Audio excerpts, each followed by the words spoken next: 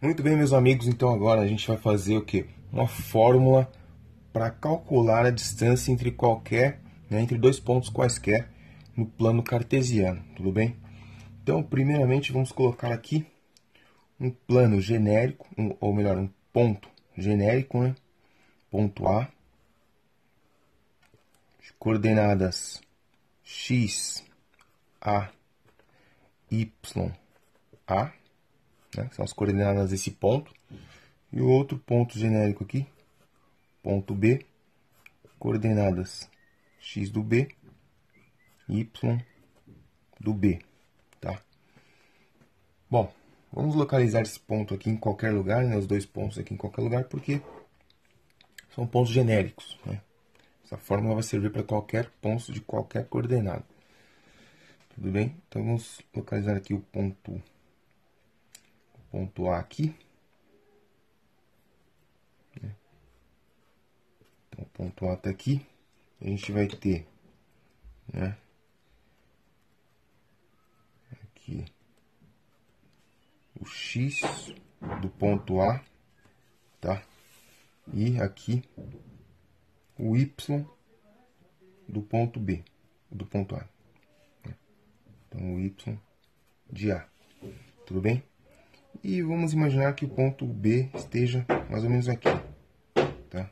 Ponto B. Esse barulho aí que estão fazendo uma reforma aqui. Né? Então os caras estão fazendo um barulho.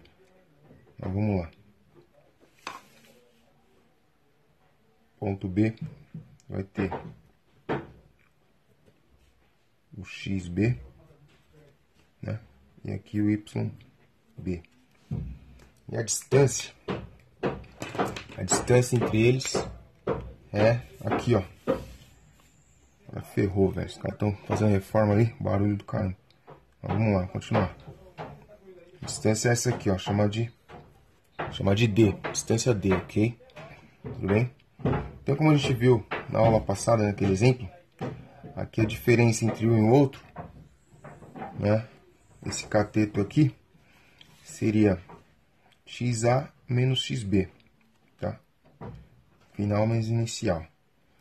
Né? Como estou fazendo a distância aqui de A até B, tá?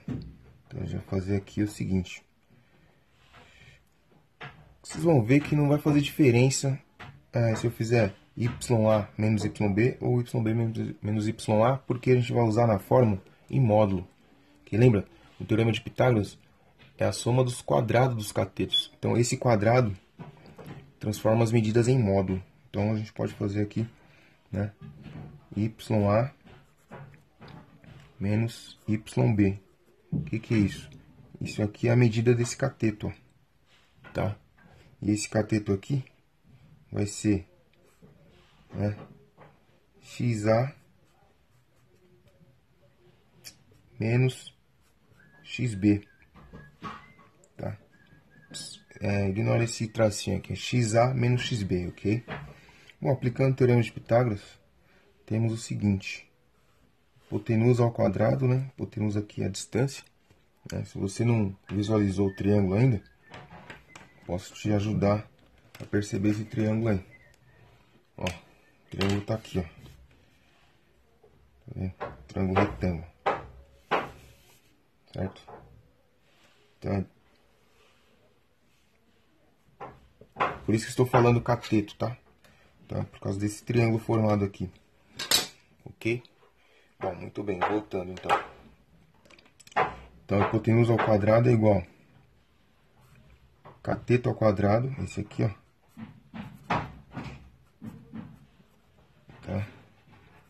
mais o outro cateto ao quadrado.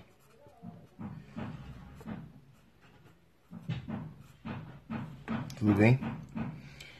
Lembra? Eu quero a distância, né? Então a gente vai inverter aqui, ó. O inverso do quadrado é a raiz quadrada. Então, para chegar na fórmula da distância, basta a gente é, inverter esse quadrado aqui. Então, vai ficar distância igual. Temos aqui né, cateto ao quadrado, né? Mais o outro cateto ao quadrado, certo? Esse quadrado aqui, esse quadrado aqui vai passar em forma de raiz quadrada, tá? E aí nós temos uma fórmula que nos dá a distância entre dois pontos no plano cartesiano. Ficamos por aqui, tá? Não esquece aí de seguir a gente lá no Instagram, Procablan, ok? E até a próxima.